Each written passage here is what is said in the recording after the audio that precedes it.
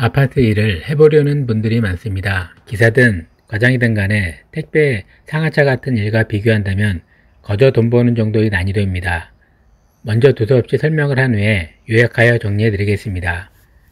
취업하실 아파트에 면접을 보러 가시면 무시하고 후은개 및 가르치려는지를 보세요. 시건방 떠는 태도를 보이면 거긴 버리세요. 오래전에 대형마트의 면접을 갔는데 웬놈이 껴들어 불량한 태도로 건들대더군요.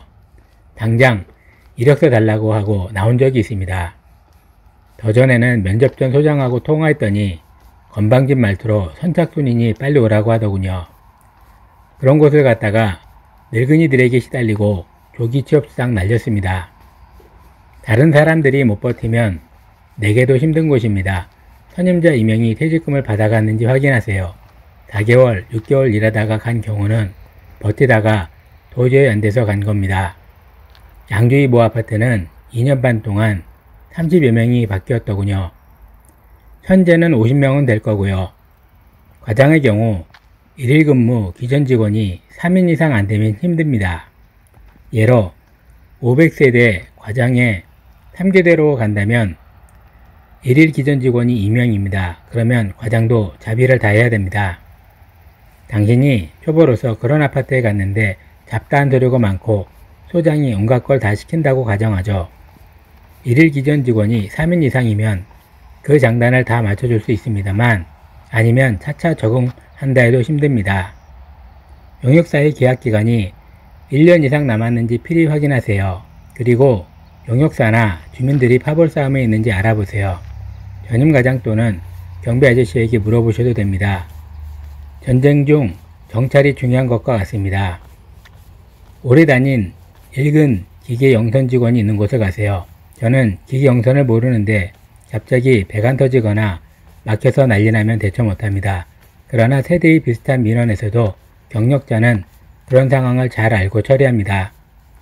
계약서를 잘 보시고 간직하세요. 연차와 추가 연체도 확인하시고요.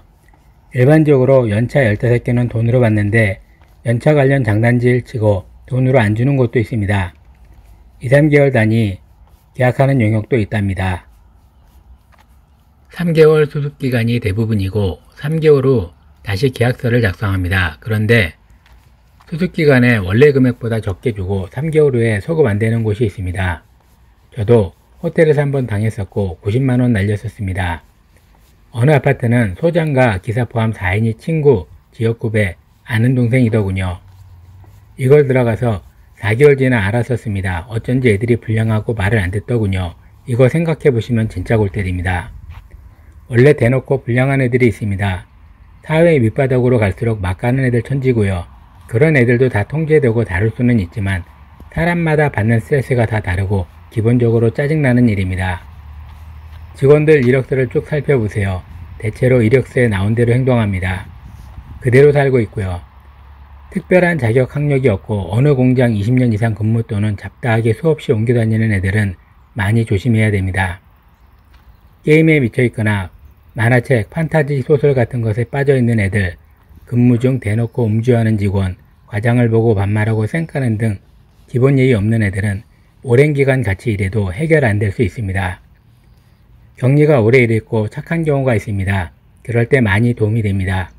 제가 6년 이상 다른 시설 일하다 아파트에 갔을 때 실수를 많이 했지만 격리가 다 해결했습니다. 모략질하는 것도 알려주더군요. 일단 동대표 회정이 가장 중요하지만 감사나 다른 동대표들의 인성도 직장 생활에 영향을 크게 줍니다. 택시기사나 교회 집사, 시설 격일 근무자가 동회장하는 것도 맞지만 무식하고 최악이었습니다. 동대표들이 직원들에게 욕하고 무시하고 의사짐 운반, 심부름 시키는 행위 등은 저도 목격했습니다. 대응법은 능력을 보여주는 것이고 존중받지 못하면 그 즉시 나가는 겁니다. 그러면 다음번은 존중하죠.